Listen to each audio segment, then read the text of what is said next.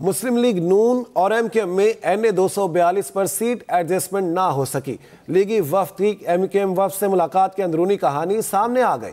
शहबाज शरीफ और मुस्तफ़ा कमाल में से कोई भी दस्तबरदार होने को तैयार नहीं। सराय के मुताबिक कागजात नामजदगी की जाँच पड़ताल के बाद दोनों जमातों की फिर से बैठक लगेगी। मुस्लिम लीग नून और एम क्यू एम में से एन ए दो सौ बयालीस पर सीट एडजस्टमेंट नहीं हो सकी।